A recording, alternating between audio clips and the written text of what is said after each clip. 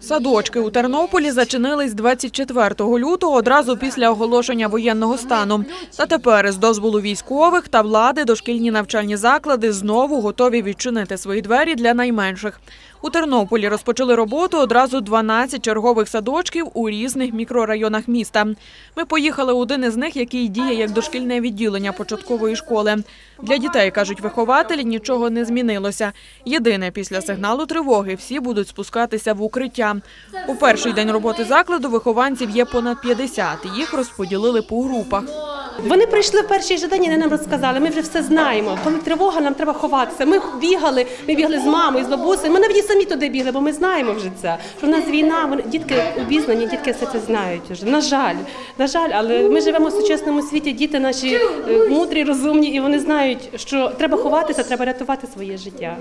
У садок малеча прийшла з тривожними рюкзачками, на яких обов'язково є бейджі з контактами батьків, а у самому рюкзачку печиво та водичка, а ще улюблена іграшка. А що взяли з собою сьогодні до садочка? Я качку, Качку взяла з собою. А чому качку?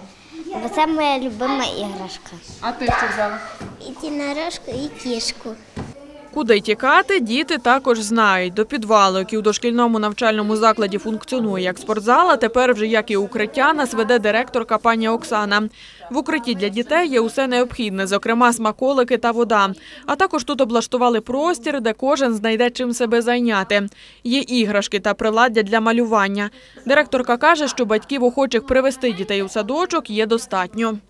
В першу чергу ми приймаємо діток, е, в кого двоє батьків працює.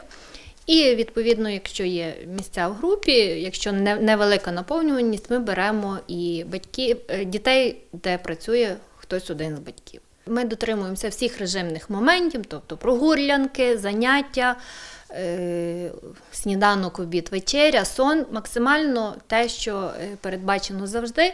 Єдиний момент це укриття. З укриттям нам е, ми під укриття взяли спортивний зал, який знаходиться в підвальному приміщенні. Ви маєте змогу це бачити. Для того, щоб дитина відвідувала черговий дитсадок, батькам необхідно звернутися до керівника закладу, який відвідував малюк до початку війни. У садку треба написати інформовану заяву згоду на відвідування закладу освіти вашою дитиною під час воєнного стану, а також додати довідку з місця роботи одного з батьків. Першочергово беруть дітей, у яких і мама, і батько працюють. Якщо місць вистачає, то можуть зарахувати й дітей, у яких один з батьків працює. Зважити всі ризики і потреби. Тобто, якщо дійсно є необхідність привести дитину в садочок, то ми просили мати наплічник, в якому дитинка матиме маленьку воду, матиме печиво, е, тепленьку кофточку флісову і, можливо, якусь улюблену невеличку іграшку для того, щоб е, дитині було спокійно психологічно. Батьки погодились з цим, підтримали це все, принесли. Хто хотів сьогодні зранку, батьки вдягали бахіли, приходили і е, оглядали укриття. Чергові дитячі садочки працюють на усіх масивах Тернополя. Загалом прийшло 576 дітей. Однак ця цифра щодня зростає, адже батьки ще збирають потрібні документи.